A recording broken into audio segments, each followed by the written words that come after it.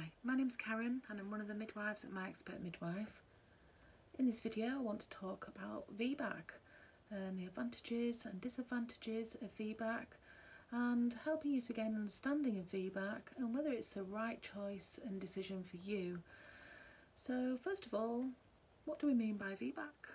Well, VBAC is just short for vaginal birth after caesarean section and it's when a woman has a vaginal birth after previously having either an emergency caesarean section or an elective which is a planned caesarean section.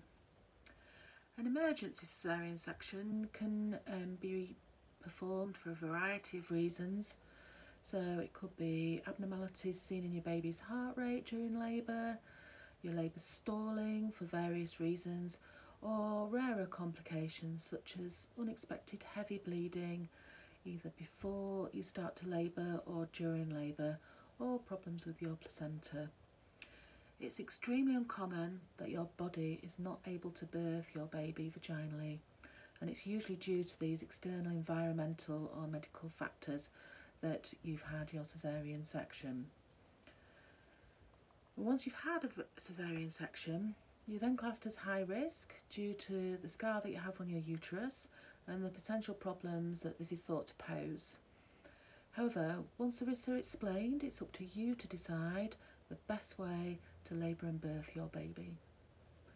As long as there are no other medical complications with you or your baby, it is in fact much safer to plan for a vaginal birth, even if you've had up to three previous caesarean sections. The reason for this is because caesarean sections carry a higher risk of increased blood loss, infection rates and possible damage to other organs in the body than vaginal births do, as well as increasing the risks of having problems with your placenta in any future pregnancies. You're also much more likely to find your recovery after vaginal birth is easier and quicker and this can be really helpful if you've got little ones to look after um, as well as your newborn baby. For some women, the desire to give birth vaginally is very strong after having a caesarean. It may have been uh, a disappointment that their baby needed to be born this way um, before. For other women, there are issues to work through uh, surrounding their previous um, caesarean section and some of them may have ongoing uh, trauma caused by this. And for other women, they may explore um, um, VBAC and find that a repeat caesarean section is the right choice for them. If you feel as though you need a debrief, um, this is where your midwife or your doctor will go through your previous notes and explain the reasons why a caesarean section was recommended um, for you in your in, in that birth. And this can help um, um, be a really important way to help you understand those reasons, um, to clarify them, and to help you make a decision this time surrounding what type of birth that you that you want. Independent midwives also offer this service, um, and and they can do a really thorough um, um, service with this to explore the reasons around it too.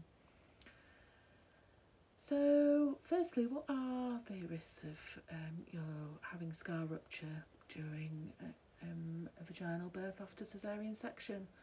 Well, it's around 1 in 200. So you can also spin that around and think, well, you have a 199 chance out of 200 of everything going very smoothly and not having um, any problems with your scar at all. Um, because you are considered higher risk um, during your pregnancy, you're also more likely to be offered interventions um, and this will include induction of labour um, which can also lead to a cascade of interventions. So it's important to think about those things as well when you're thinking of planning for your vaginal birth after caesarean section. And probably want to know now, how can you increase your chances of having a successful vaginal birth after caesarean section? Well, firstly, avoiding any type of induction of labour unless there is evidence to suggest you or your baby are at risk from prolonging your pregnancy is um, a good starting point. A labour that starts naturally is less likely to need medical intervention and the Royal College of um, Obs and Gynae also recognises that if you're induced or have your labour augmented, which is um, speeded up after your waters are broken, then your risk of scar rupture increases two to threefold compared to a labour that starts spontaneously. And there's also a 1.5 fold chance of it leading to a repeat caesarean section. So prepare well for your birth.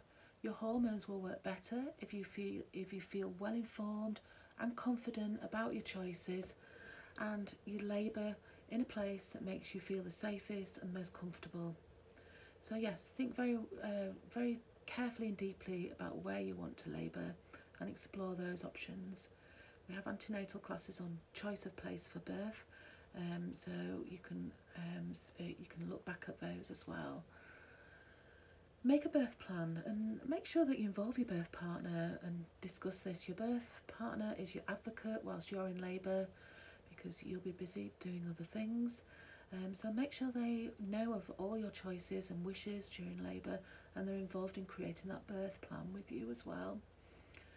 Try and remain as upright and, and active as possible during the first stage or the active stage of labour and um, try and be well hydrated and have snacks to keep your energy up too. You might also want to zone out of things a little bit more and maybe taking a hypnobirthing course um, will help you to understand this a little bit better and to be able to take control and and explore breathing techniques as well. An epidural during um, your labour can offer you very good pain relief. However, it will restrict your movement so see if you can try other forms of pain relief. You can explore those by looking back at our antenatal classes on pain relief as well to see what your options are are there and try and think of an epidural as something that is there for you but something that you may need or want um, if you've had other forms of pain relief and that hasn't um, quite hit the spot or worked for you. So remember that if you plan a vaginal birth after caesarean section, the success rate is usually between 72 and 75% according to the Royal College of Obs and Gynae um, stats. And this increases to between 85 and 90% if you've had previous vaginal delivery before you've had a caesarean section. So the chances are weighted in your favour if you do decide to try for a VBAC.